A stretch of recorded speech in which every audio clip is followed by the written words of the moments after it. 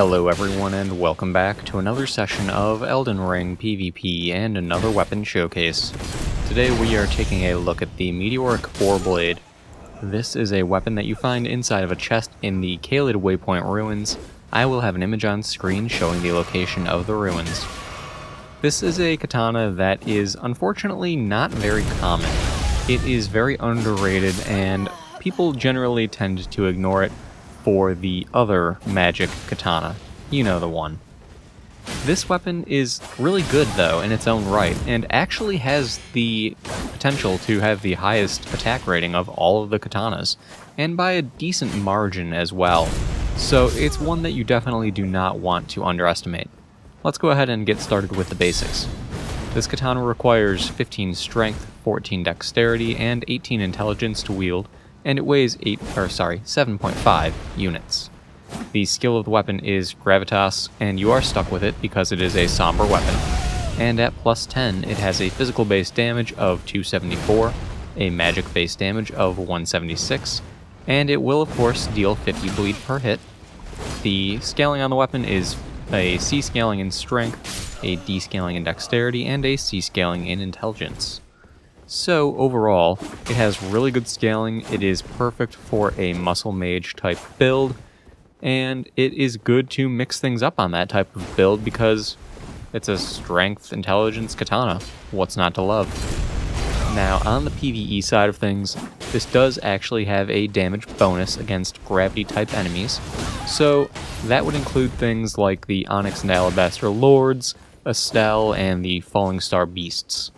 So, it's always nice to have a little bit of bonus damage, especially against the Falling Star Beasts and Astel.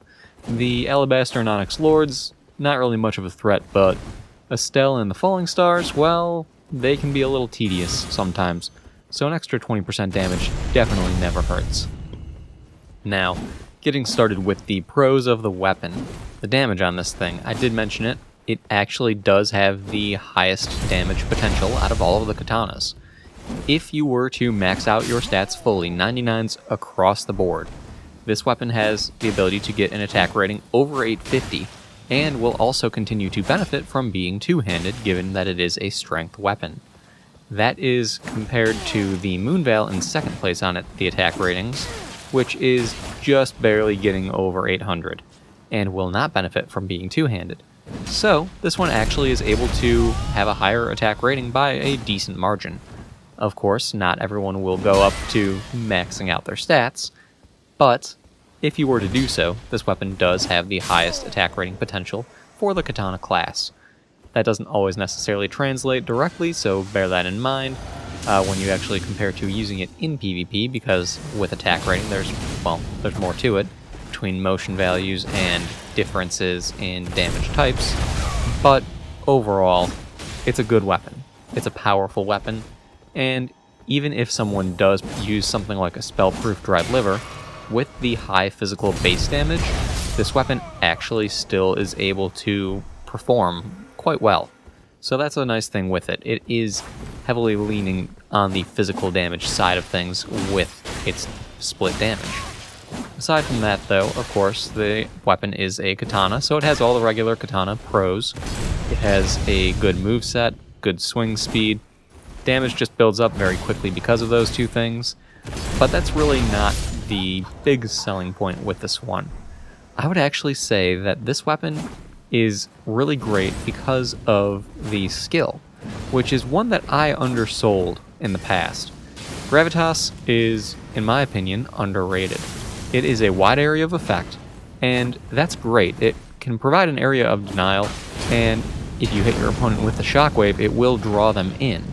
So, if you draw your opponent towards you by hitting them with that shockwave, and if you time your R2 correctly, that unique R2, which is basically Ichimonji from Sekiro, uh, it will actually be able to roll catch your opponent, as you saw in the first fight in this video.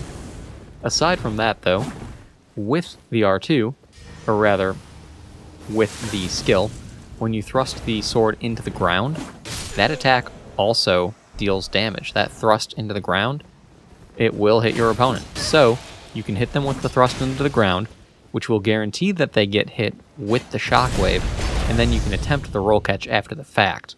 So overall, you can combo it if you have your timing right, and you can also use it to trade hits because the skill actually has an extremely good amount of hyper armor. So that's something you've probably seen me do throughout a few fights at this point. It is a phenomenal way to use that skill. You can use it as the area of denial, and that's always well and good, especially when you do need to have your opponent back off if you are using this as a mage and need to take a sip of a cerulean flask, then that gives you an opportunity to do so. But in addition, you can use it in a more offensive way, and that would be to trade hits with it. And I think that is honestly great.